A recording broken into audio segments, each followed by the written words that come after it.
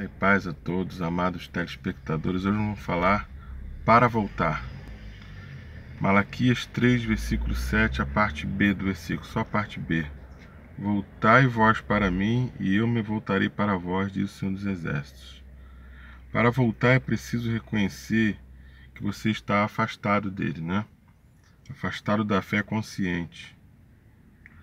A fé consciente envolve obediência à palavra. Então, a fé consciente vem da obediência da palavra. Fidelidade e amor. Muitos têm fé, mas não têm compromisso sério com o Senhor, né? Tratam como amante. Nos apertos, ora, tá? Dificuldade, ora. Quando dá vontade, vão à igreja cumprir uma obrigação.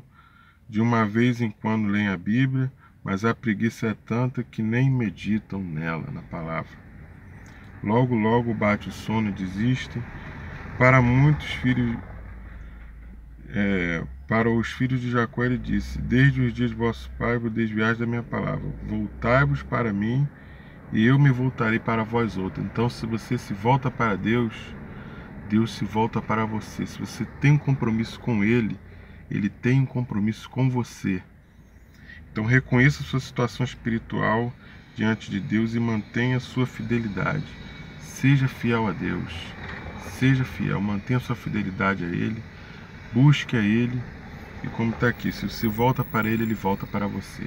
Um forte abraço a todos, não só de pão viver ao homem, mas de toda palavra que sai da boca de Deus. O tempo está muito próximo, pessoal.